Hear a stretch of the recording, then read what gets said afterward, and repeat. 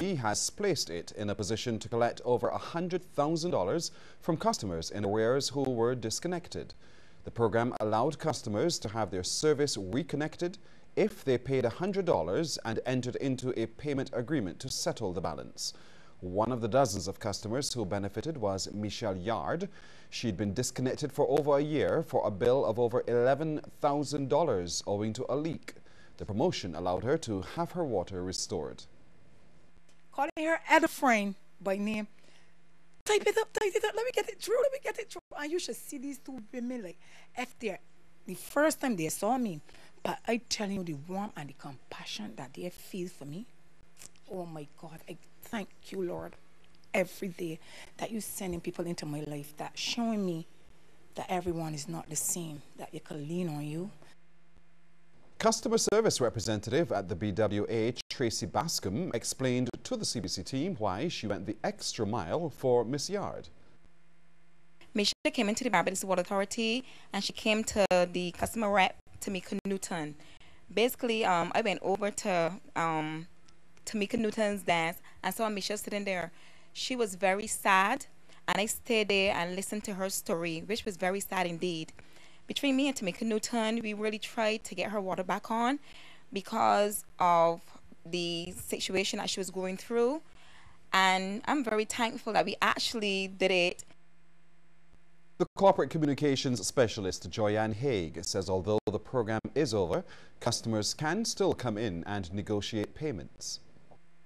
We had persons who were disconnected for a long period and mainly because of leaks. So we felt that uh, it is Christmas, and around this time, we would like to be able to give them an opportunity to get back on track, which we did via a payment agreement. The amnesty now is, is over uh, through the promotion. However, we would still encourage customers to come to the Barbados Water Authority and still make an agreement with us. We do have a payment agreement team on board for persons who may be having some difficulty or would have had some big bills due to leaks.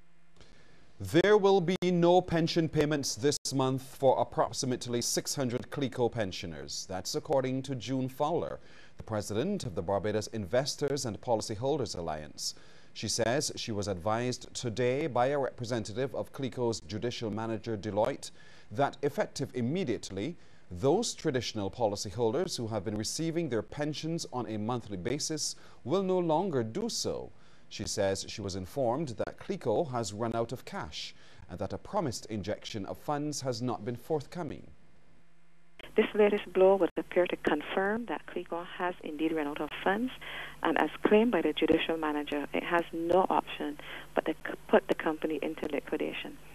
And this, despite the Minister of Finance's assertion in his press release last December that any attempts to place CLICO International Life or its associated companies into liquidation will therefore be premature, unwarranted, and unnecessary.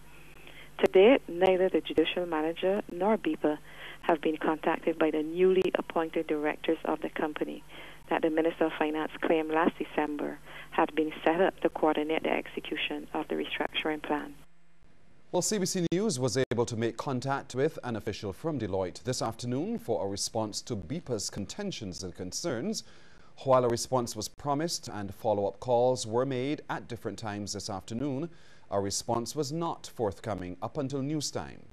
On December the 18th last year, government announced through the GIS that the Ministry of Finance had facilitated the establishment of a new company to initiate and manage government's participation in the restructuring plan for CLICO and its associated companies. That company has a board of directors chaired by financial analyst Clennell Goodman.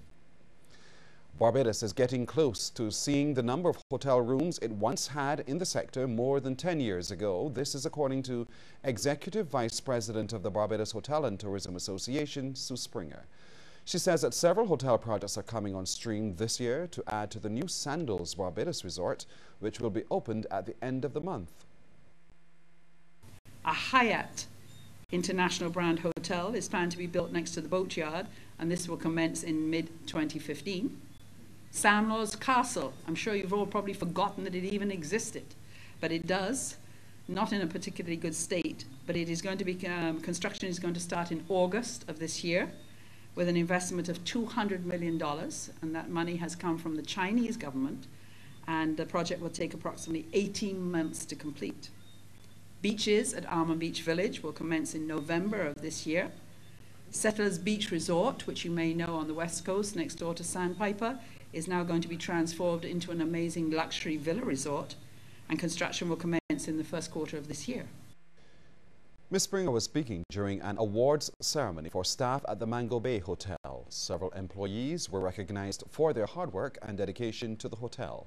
Ms. Springer says the island will benefit this year from an additional 35,000 seats through the introduction of extra flights. And the Mango Bay Group is looking to take over the management of the Sandy Beach Hotel. Chairman of the group, Peter Odell, says they're trying to close that deal soon we hope to start construction there in the within the first quarter of this year, and we're aiming to try and have it completed and finished by the end of the year, so that we would be in operation for the winter 2015-16. And I say this to say that this will also give us an opportunity. So for those of you who work within the group, I want people who are mangoized or ironized to be the first to, to benefit and when we're going to go to Sandy Bay and to, to, to do the operation there to give people the opportunity to go up the ladder and take a different role at that hotel. Mr. Odell says one of the highlights of 2014 was the Mango Bay Hotel winning the World Travel Award for Best Boutique Hotel in Barbados. Well, tributes have been coming in for former public servant and well-known contributor to Barbados, Sir Harcourt Lewis. According to reports, Sir Harcourt passed away on Tuesday at the Bayview Hospital after a period of illness. President of the Barbados Association of Retired Persons, Ed Bushell, says Sir Harcourt was very devoted to his work. Sir Harcourt really was a man who was committed to credit unions, as far as I know, and committed to bar and he served on the committee selfishly for many um, and was responsible for many of the changes and uh, innovations that we had in the medical scheme. And as a, he was the former chairman of ICBL, and therefore he brought a wealth of knowledge and experience to that position as chairman, and we will really miss him. Former Deputy Prime Minister of Barbados, Sir Philip Greaves, spoke of Sir Harcourt's desire to achieve what he wanted. I first remembered him working at the, not for the Hilton, but the Hilton Project. When the Hilton Project first came to Barbados in the 1960s, he was the person, he was the head person for the government service, pulling together all various um, institutions that were working to bring that into, re to reality and he, he did an excellent job of it.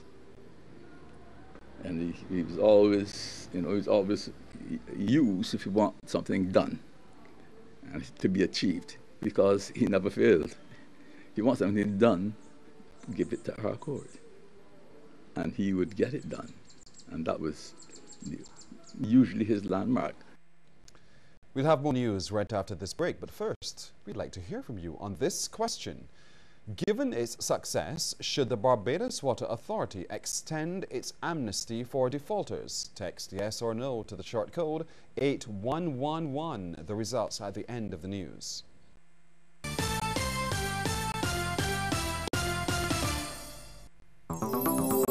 Dear Clark, I've made a fascinating discovery, the institutional water cooler. Its gravitational pull sucks people from their workstations at the busiest times of day to stand around it and chat about emerging global trends like, will pink be in fashion next season? Meanwhile, the world slows to a stop as it waits in line to be served. I don't see that trend at Globe Finance. Globe Finance. Think outside the bank. When it comes to their financial service, slow is out, swift is in. Now, one of the things that we as boys love to see was when the guys were either loading sugar into the barn or out of the barn. The sugar was loaded that it went right up to the roof in tiers. And guys would take the sugar from the truck, two guys, and they was tossing. And they'd be doing that for the whole day. One of those bags weighed 112 pounds. And these men be tossing the bags up, and then when the ship came for sugar, they be tossing the bags down and loading the schooners. This is the story of Barbados' sea portal, the port of Bridgetown, and it's coming soon to CBC TV8.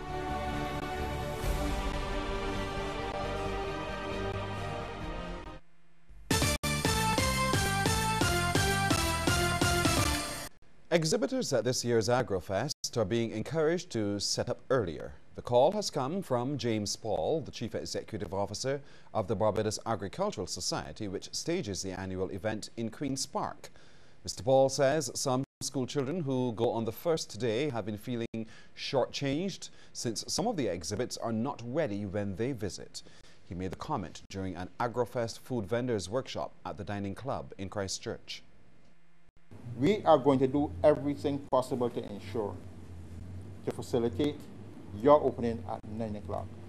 What we have had complaints sometimes in the schools for is that when they come in, you are still setting up. We need to avoid that as much as possible this year. And I will be making a special effort to work with the coordinator and the service providers to ensure that you, when they come in, we are ready to show them because we need to get more professional in terms of the show in itself. That if you say we're going to start at a time, we start at that particular time.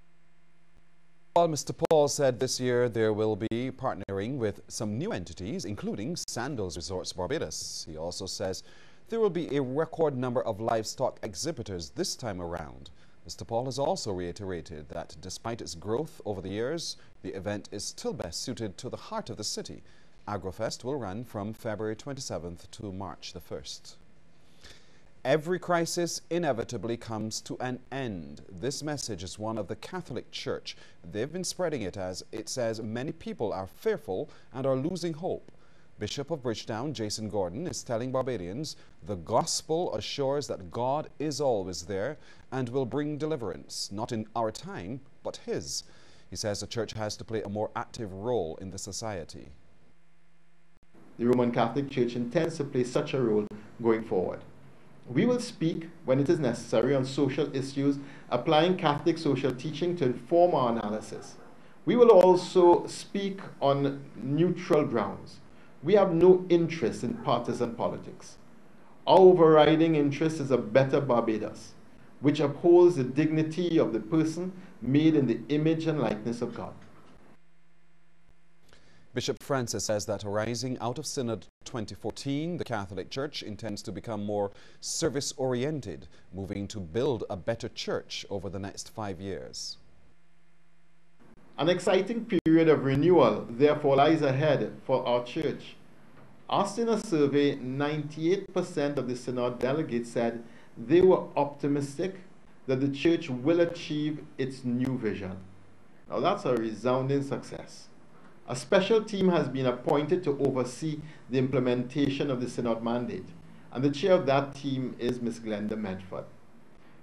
From time to time, in the life of every individual and organization, it is necessary to pause from the daily hustle and bustle to engage in serious self-examination. The police are tonight seeking your assistance in locating a woman wanted in connection with a serious criminal matter. She is Jamaican national Keron Kelly, a 25-year-old resident of Barkers Road, Haggart Hall.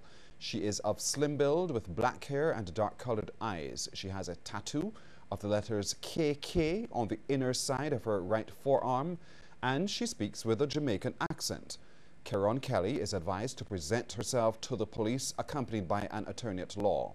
Anyone who may know the whereabouts of Keron Kelly should contact the police emergency at telephone number 211, at the nearest police station, or Crime Stoppers at 1-800-TIPS. You're also reminded that it is a serious offense to harbor or assist wanted persons and anyone caught committing that offense can be prosecuted.